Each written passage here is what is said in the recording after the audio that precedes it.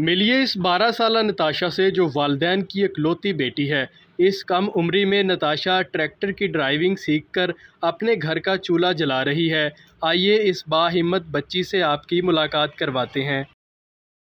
अस्सलाम वालेकुम नाजरीन, आप देख रहे हैं फैसलाबाद पॉइंट और मैं हूँ राना एहसान अली। और आज जड़ावाला में मौजूद हूँ और मुलाकात करवाएँगे आपकी एक ऐसी बहादुर लड़की से जो अपने वालद का बाजू बनी है उसका कोई भाई नहीं था ना कोई उसकी बहन थी तो उसने सोचा कि क्यों ना अपने वालद के काम में उसका हाथ बटाया जाए।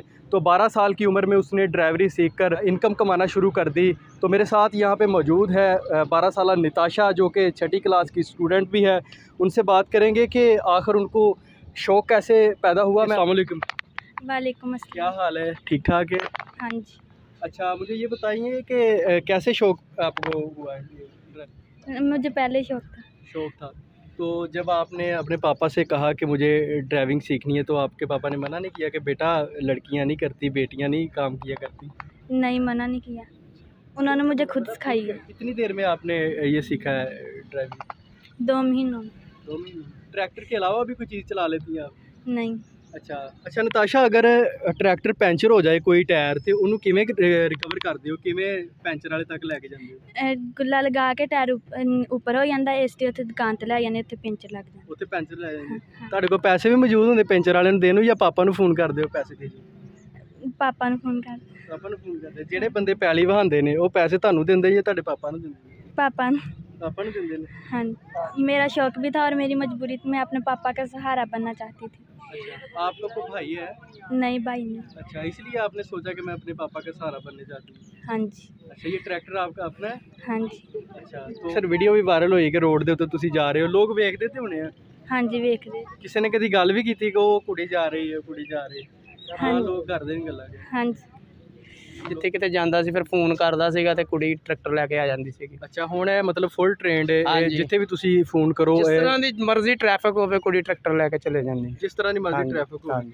ਤੇ ਲੋਕ ਗੱਲਾਂ ਨਹੀਂ ਕਰਦੇ ਜਾਂ ਪੁਲਿਸ ਵਾਲਿਆਂ ਨੇ ਕਦੀ ਤੁਹਾਨੂੰ ਲਾਮਾ ਤੇ ਨਹੀਂ ਦਿੱਤਾ ਕਿ ਛੋਟੀ ਜੀ ਤੁਹਾਡੀ ਬੇਟੀ ਹੈ ਤੇ ਜਨਾਬ ਤੁਸੀਂ ਪੁਲਿਸ ਵਾਲੇ ਇੱਕ ਵਾਰੀ ਐਡਾ ਵੱਡਾ ਰਿਸਕ ਲੈ ਕੇ ਪੁਲਿਸ ਵਾਲੇ ਇੱਕ ਵਾਰੀ ਮੈਨੂੰ ਮਿਲੇ ਸੀਗੇ ਉਹਨਾਂ ਕਿਹਾ ਕਿਹਦੀ ਬੇਟੀ ਮੈਂ ਕਿਹਾ ਮੇਰੀ ਆ ਹੂੰ। ਤੇ ਬਾਰ ਉਹਨਾਂ ਉਹਨਾਂ ਕੋਈ ਇਤਰਾਜ਼ ਨਹੀਂ ਕੀਤਾ ਸਗੋਂ ਇਸ ਗੱਲ ਤੇ ਰਾਜ਼ੀ ਹੋਏ ਸੀਗੇ ਕਿ ਵੀ ਸਾਡੇ ਪਾਕਿਸਤਾਨ 'ਚ ਵੀ ਇਹੋ ਜਿਹੇ ਲੋਕ ਹੈ ਵਾ ਜਿਹੜੀਆਂ ਧੀਆਂ ਮਾਂ ਪਿਓ ਦਾ ਸਹਾਰਾ ਬਣ ਅੱਛਾ ਤੁਹਾਡਾ ਕੰਮ ਕੀ ਹੈ ਬੇਸਿਕਲੀ ਟਰੈਕਟਰ ਨਾਲ ਤੁਸੀਂ ਕੀ ਕਰਦੇ ਹੋ? ਟਰੈਕਟਰ ਨਾਲ ਇੱਕ ਤਾਂ ਮੈਂ ਜ਼ਿਮੀਦਾਰੀ ਕਰਦਾ ਰੈਂਟ ਤੇ ਦੂਸਰਾ ਹੈ ਕਿ ਮੈਂ ਕੋਈ ਅੱਗੇ ਪਿੱਛੇ ਕੋਈ ਭੱਠੇ ਵਗੈਰਾ ਦਾ ਜਾਂ ਕੋਈ ਹੋਰ ਕਾਰਖਾਨੇ ਫੈਕਟਰੀ ਦਾ ਕੰਮ ਆ ਜਾਵੇ। ਯਾਨੀ ਕਿ ਜਿਹੜਾ ਟਰੈਕਟਰ ਦਾ ਸਾਰਾ ਦਾਰੋਮਦਾਰ ਹੈ ਤੁਹਾਡੀ ਬੇਟੀ ਨਤਾਸ਼ਾ ਤੇ ਹੈ ਇਹਨੇ ਹੀ ਸਾਰਾ ਮੈਨੇਜ ਕਰਨਾ ਹੈ। ਹਾਂਜੀ। ਇਹਨੇ ਹੀ ਸਾਰਾ ਕੁਝ ਦੇਖਣਾ ਜੀ ਜੀ। ਟਰੈਕਟਰ ਦਾ ਕੋਈ ਆਰਡਰ ਆ ਗਿਆ ਕੋਈ ਪੈਲੀ ਪੂਲੀ ਕਿਸੇ ਨੇ ਵਹਾਣੀ ਹੋਵੇ। ਤੇ ਮੈਂ ਫਿਰ ਫੋਨ ਕਰਨਾ ਤੇ ਫਿਰ ਚਲੇ ਜਾਣਾ ਉੱਥੇ ਅੱਛਾ। ਇਹ ਮਤਲਬ ਸਹੀ ਤਰੀਕੇ ਨਾਲ ਪੈਲੀ ਵਹਾ ਲੈਂਦੇ ਗਾਹਕ ਮੁਤਮਿਨ ਹੋ ਜਾਂਦੇ ਨੇ ਜੀ, ਜਿਨ੍ਹਾਂ ਨੇ। ਪੈਸੇ ਦੇਣੇ। ਜ਼ਾਹਰ ਉਹਨਾਂ ਨੇ ਕਹਿਣਾ ਕਿ ਯਾਰ ਜੀ ਜੀ ਗਾਹਕ। ਮੁਤਮਿਨ ਹੋ ਜਾਂਦੇ ਅਗਰ ਕਿਸੇ ਵਸੀਲੇ ਨਾਲ ਕਮਜ਼ੋਰੀ ਵੀ ਰਹਿ ਜਾਏ ਤੇ ਇੱਕ ਦੋ ਚੱਕਰ ਲਾਉਣ ਨਾਲ ਫਿਰ ਉਹ ਰਾਜ਼ੀ ਹੋ ਜਾਂਦਾ ਗਾਹਕ ਇੱਕ ਦੋ ਚੱਕਰ ਲਾਣ ਨਾਲ ਹਾਂਜੀ ਹੋਰ- ਜ਼ਿਆਦਾ ਲਾਉਣ ਨਾਲ। ਅੱਛਾ। ਪਹਿਲੀ ਗੱਲ ਹੈ ਕਿ ਉਹ ਜ਼ਿਆਦਾ ਲਾਉਣ ਵਾਲੀ ਕਮੀ ਰਹਿਣ ਦੇਈਦੀ ਨਹੀਂ ਜੇ ਅਗਰ ਰਹਿ ਵੀ ਜਾਵੇ ਤੇ ਫਿਰ ਉਹ ਟਰੈਕਟਰ ਨੂੰ ਐਡੀ ਪਰੇਸ਼ਾਨੀ ਕੋਈ ਨਹੀਂ ਤੇ ਉਹ ਕੁੜੀ ਨੂੰ ਚਲਾਉਣ ਦੀ ਵੀ ਪਰੇਸ਼ਾਨੀ ਕੋਈ ਨਹੀਂ।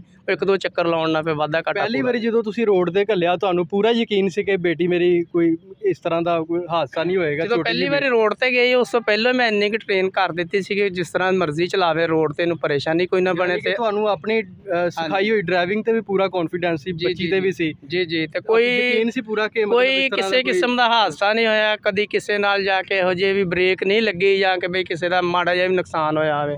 ਬਾਕੀ ਅੱਲਾਹ ਪਾਕ ਦੀ ਰਹਿਮਤ ਆ ਉਹਨੇ ਬੜਾ ਆਪਣੀ ਰਹਿਮਤ ਨਾਲ ਨਵਾਜ਼ਿਆ ਹੋਇਆ। ਅੱਛਾ ਤੁਹਾਡਾ ਬੇਟਾ ਮੈਂ ਸੁਣਿਆ ਕਿ ਕੋਈ ਨਹੀਂ ਹੈਗਾ। ਨਹੀਂ ਬੇਟਾ ਕੋਈ ਨਹੀਂ। ਬੇਟੇ ਦੀ ਕਮੀ ਮਹਿਸੂਸ ਹੁੰਦੀ ਆ ਬੇਟੀ ਇੰਨੀ ਬਹਾਦਰ ਹੋ ਗਈ ਹੈ ਡਰਾਈਵਿੰਗ ਸਿੱਖ ਲਈ ਹਜੇ ਵੀ ਬੇਟੇ ਦੀ ਕਮੀ ਮਹਿਸੂਸ ਹੁੰਦੀ ਹੈ ਪਹਿਲੇ ਹੁੰਦੀ ਸੀ ਹੁਣ ਨਹੀਂ ਮਹਿਸੂਸ ਹੁੰਦੀ। ਹੁਣ ਨਹੀਂ ਬੇਟੇ ਦੀ ਕਮੀ ਮਹਿਸੂਸ ਹੁੰਦੀ? ਹਾਂਜੀ। ਯਾਨੀ ਕਿ ਹੁਣ ਤਾਂ ਤੁਹਾਡਾ ਸਾਰਾ ਦਾਰੋਮਦਾਰ ਤੁਹਾਡੀ ਬੇਟੀ ਨੇ ਜੀ ਸਾਂਭਿਆ ਜੀ ਆ ਜੀ।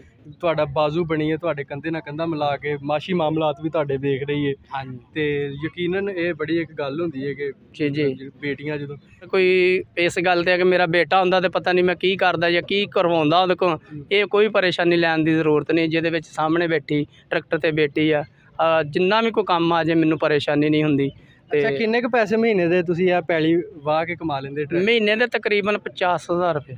50000 ਰੁਪਏ ਹਾਂਜੀ। ਤੁਸੀਂ ਡਰਾਈਵਿੰਗ ਜੀ ਜੀ। ਉਹ ਸਾਰਾ ਕੁਝ ਨਤਾਸ਼ਾ ਨਹੀਂ ਕਰਨਾ ਇਹਨੇ ਹੀ ਮਤਲਬ ਪੈਲੀ ਪੂਲੀ ਬਾਣੀ ਹੈ। ਇਹ ਕਿਸੇ ਟਾਈਮ ਪੈਸਿਆਂ ਦਾ ਲੈਣ ਦੇਣ ਕਿਸੇ ਵੀ ਇਹਦੇ ਟਾਈਮ ਨਾਲ- ਕੋਈ ਸਕੂਲ ਦਾ ਮ, ਪ੍ਰੋਗਰਾਮ ਹੋਵੇ ਤੇ ਜਾਂ ਛੁੱਟੀ ਨਾ ਹੋਵੇ ਫਿਰ ਮੇਰੀ ਮਜਬੂਰੀ ਬਣ ਜਾਂਦੀ ਮੈਂ ਆਪ ਚਲਾ ਲੈਣਾ ਖਰਾਬ ਹੋ ਜੇ ਨਤਾਸ਼ਾ ਅਗਰ ਟਰੈਕਟਰ ਦੀ ਬਿਲ ਫਰਜ਼ ਚੱਲਦਾ ਚੱਲਦਾ ਰੋਡ ਤੇ ਬੰਦ ਹੋ ਜਾਵੇ ਉਹਨੂੰ ਕਿਸ ਤਰ੍ਹਾਂ ਤੁਸੀਂ ਉਹਨੂੰ ਰਿਕਵਰ ਕਰੋਗੇ ਕਿਸ ਤਰ੍ਹਾਂ ਠੀਕ ਕਰੋਗੇ? ਜ਼ਿਆਦਾ ਖਰਾਬੀ ਕੀ ਬਣਦੀ ਹੈ ਜ਼ਿਆਦਾਤਰ? ਜ਼ਿਆ- ਜ਼ਿਆਦਾਤਰ ਮਸਲਾ ਡੀਜ਼ਲ ਦਾ ਹੁੰਦਾ ਜ਼ਿਆਦਾਤਰ ਗੱਡੀ ਬੰਦ ਹੋ ਜਾਂਦੀ ਔਰ ਪਾਪਾ ਆਪਣੇ ਮੇਰਾ ਪਾਪਾ ਆ ਜਾਂਦਾ। ਤੁਸੀਂ ਖੁਦ ਵੀ ਠੀਕ ਕਰ ਲੈਂਦੇ ਹੋ ਨਾ? ਕਰ ਲੈਂਦੀ। ਅੱਛਾ ਤੇ ਤੁਸੀਂ ਕਿੰਨੇ ਪੈਸੇ ਮਹੀਨੇ ਦੇ ਕਮਾ ਲੈਂਦੇ ਹੋ ਟਰੈਕਟਰ ਚਲਾ ਕੇ? 50000 50000 ਸੁੱਖਾ ਕਮਾ ਲੈਂਦੇ ਹਾਂਜੀ। 50000 ਚੋਂ ਆਪ ਵੀ ਰੱਖਦੀ ਹੈ ਕਿ ਘਰ ਹੀ ਦੇ ਦੇਣੀ ਸਾਰੇ? ਘਰ ਹੀ ਦਿੰਦੀ। ਸਾਰੇ ਘਰ ਤੇਰਾ ਪਾਪਾ ਖੁਸ਼ ਹੁੰਦਾ ਜਦੋਂ ਪੈਸੇ ਦੇ ਹਾਂਜੀ। अच्छा जी ये ड्राइविंग कर रही है लड़की और इसके साथ हमने कोई थोड़ा सा सफ़र किया है दो चार मिनट का और बड़ी अच्छी बड़ी कंफर्टेबल ड्राइविंग जो है वो ये लड़की करती है। कहीं पे भी कोई मिस्टेक हमें जो है वो नज़र नहीं आई इस लड़की की और इंतहाई महारत के साथ ये ड्राइविंग जो है वो यहाँ पे कर रही है। आपको डर नहीं लगता जब कभी आगे से कोई बड़ा ट्रक आ रहा हो? तो आप कंफ्यूज नहीं हो जाती कि आगे से कोई चीज़ आ रही है? नहीं। कंफ्यूज नहीं होती आप? डर नहीं लगता आपको कि कहीं ये ऊपर ना आ जाए या मुझे कोई चोट ना लग जाए या खुदा ना खासा कोई एन वक्त पे आके कोई चीज़ ख़राब हो जाए। नहीं। की। आपको कोई डर नहीं यानी कि इतना आपके पापा ने आपको महारत दी हुई है ड्राइविंग आपकी अच्छी है। लाइसेंस बनवाना चाहेंगी आप जब आपकी एज पूरी हो जाएगी? हाँ जी। मुस्तकबिल में ये ट्रैक्टर की ड्राइविंग ही करेंगी या कोई जॉब करने का इरादा है आपका? जॉब करने का कौन सी जॉब करने की है? ना कि मैंने पढ़ लिख के ये बनना है। टी टीचिंग टीचिंग करनी है। टीचिंग करने का शौक़ है नताशा का। फ़िलहाल जो ये काम कर रही है ट्रैक्टर चला रही है ये महज अपने वालद का हाथ बटा रही है। उसके इशाना बशाना उसके कंधे के साथ कंधा मिला के चल रही है क्योंकि इनका कोई भाई नहीं है और नताशा ये साबित भी कर रही है कि लड़कियाँ किसी भी मैदान में पीछे नहीं हैं और साथ ही साथ ये महीने का पचास हज़ार रुपया भी अर्न कर रही हैं।